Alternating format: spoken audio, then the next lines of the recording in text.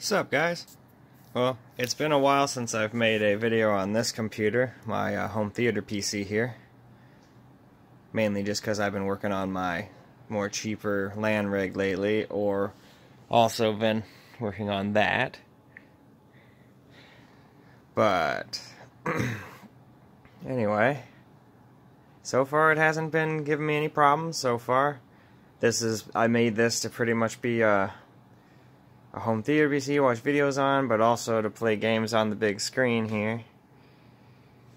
Um, let's see here. Let's go over specs real quick here. Uh, it's got an i7 uh, 3930K at 4.5 gigahertz. The motherboard is a Intel DX79 TO. I've got some G.Skill Ripjaw X memory, 16 gigs of that. It's uh, rated at 2133, but the way I've got to have it set up, it's more like 1996 or 7 or something like that megahertz. Uh, then we've got a Noctua DH14 cooler. The case is a Silverstone RL06BR-GP. The PSU is a uh, 1000 watt Rosewill Glacier. GPU is a GTX 980 Ti by Zotac. It's an AMP Omega edition. Uh, the SSD in there is a 240 gigabyte Silicon Power. Uh, hard drive 750 gig Samsung HD uh, 75 3LJ. It's a really, really, really old drive from like I think 2008 or 9 or something like that, but keeps working, so I'll keep using it. But just do a little quick uh, overview of the case, just for those who are new to the channel, or for people who are just checking out this video for the first time.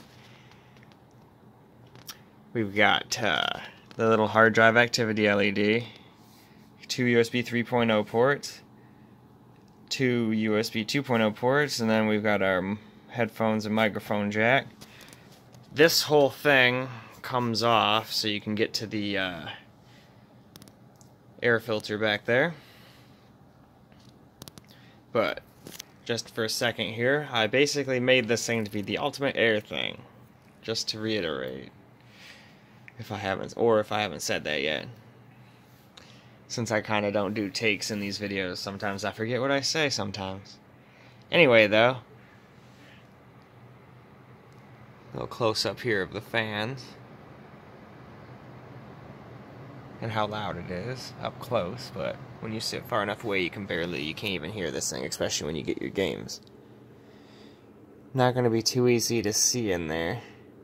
But we've got a 120 at the back, too. There's the DH14 in the yeah, cool on the CPU there.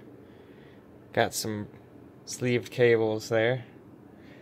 Uh, let me just pause the video real quick here and open up the side panel so you can get a better look. It's too tinted in there to see real good. I've been thinking about adding another red LED strip on the bottom there just to make it so people can see a little better when I make videos of and just so I can admire it better. I like admiring my work.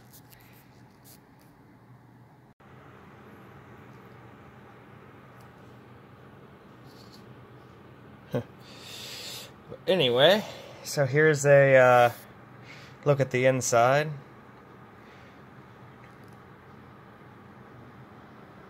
See, there's an Noctua. There's a 980 Ti. Fans aren't spinning because it's not doing anything right now. Uh, down there, that's my uh, USB 3.0 card. I had to, to get one of those because this motherboard doesn't have the front uh, panel connectors. So to get USB 3.0 on the front of my case, I had to get one of those. Not a big deal though. And then you can barely see the Ripjaw memory. This is in quad channel. And then you can't really see anything in the basement there, but there's the PSU down there. It's got a little dust filter. It's got a dust filter under here, so. Oh, here we go. Not a very great one, but, you know.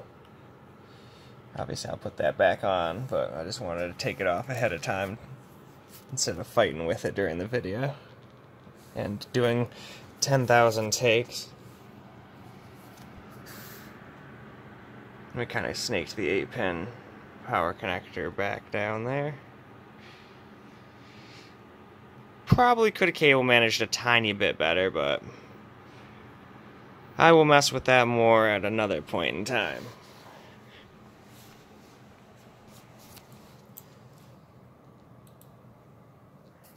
And then here's just a little bit more info on what's in there and what settings I'm running.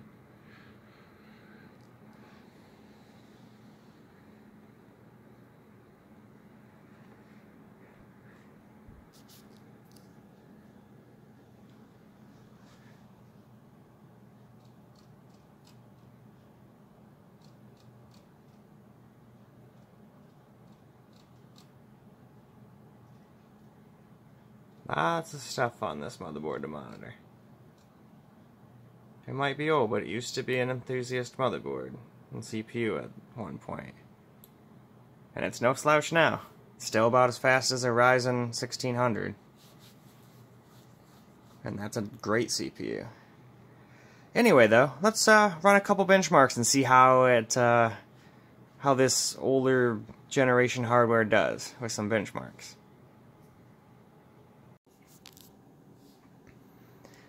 Alright, well, here's what it got in Fire Strike.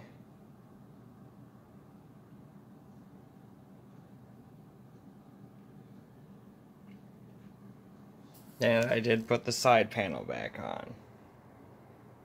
It's, uh, wouldn't be a point doing the test with the side panel off and then being like, oh, look at these, look at these badass temperatures. But we'll look at the temps once we're done with the rest of the benchmarks. So we'll move on to the next one now. This is what it got in superposition.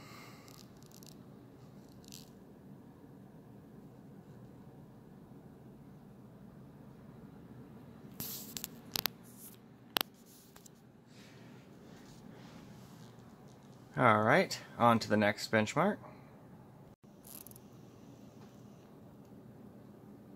So this is what it got in Cinebench. The best I ever got was at 4.6 gigahertz, but I could never get that entirely stable, and I'd rather have stability than fancy benchmark numbers. So here's what it gets at 4.5 gigahertz. So on to the next test. This is what it got in Geekbench 4.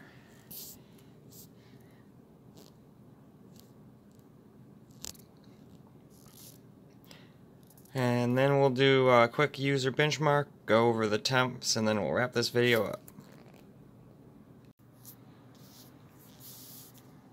Alright, well, the user benchmark's all done. And here's what it got.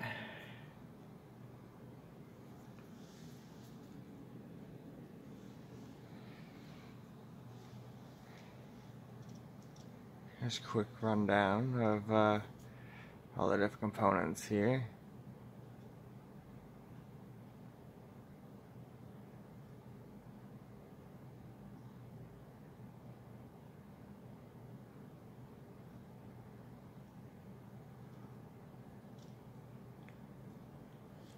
But alright. Let's take a look at uh, temps. And whatnot.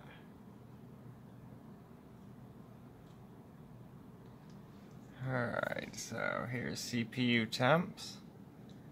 No thermal throttling whatsoever. There's the memory temps.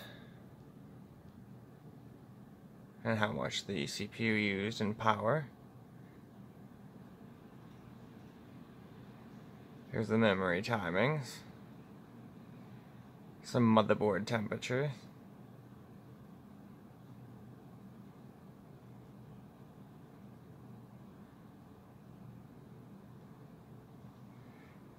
There's the drives. And there's some info for the uh, GPU.